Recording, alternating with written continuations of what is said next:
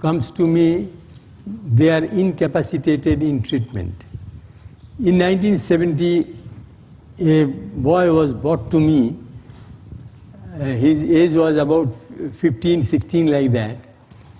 His father took him to me, my clinic, and told that this boy is having growing paralysis, paralysis of the lower limbs and dimness in vision.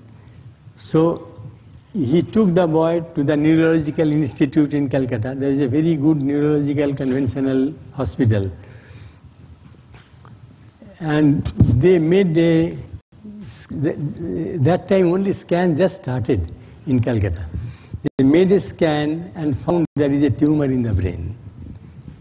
And he was told that it, it requires some surgery and the cost of surgery was beyond the capacity of the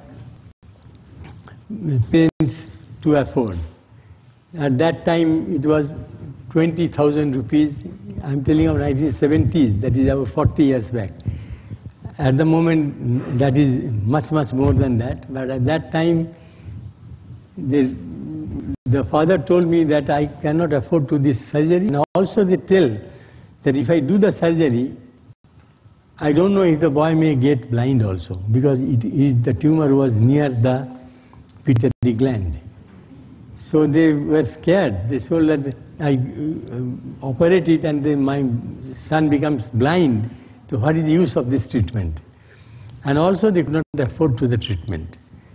Then he came to my clinic and I was thinking for the boy, you know, these, these when comes to us, the whole responsibility of the life comes to us. I asked the boy to walk. He was walking with the father's help and I don't know why, I suddenly thought the ruta will be the medicine for him. Though it is not in the materia medica or any, anywhere else. I told them to come after 15 days and let me know how the boy is keeping. To my surprise, I saw the boy is walking without help.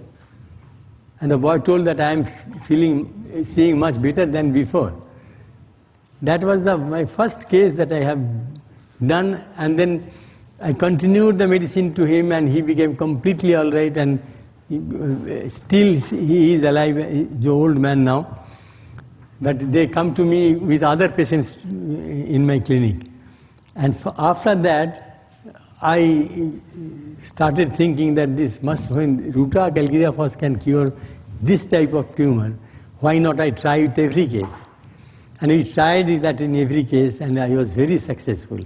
And then I tried Ruta 200, I tried Ruta 1000, if they can give more relief to the patient, but it didn't give. Only six gave the relief.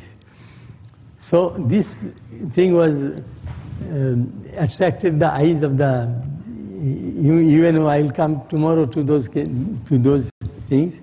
And then it was proved in the laboratory of the MD Anderson Cancer Center that Ruta 6 and Calcarea phosphorica 3x uh, kills brain cancer cells in the laboratory. And that was a fantastic experiment done in the in USA by the professor of cell biology and genetics. And it was proved in the laboratory that it's selectively killing the brain cancer cells and not the normal cells. It was a fantastic experiment done. I'll come to this tomorrow because I'll deal with the cancer tomorrow. And that way, when this type of apoplexy or brain damages comes to us, we always first try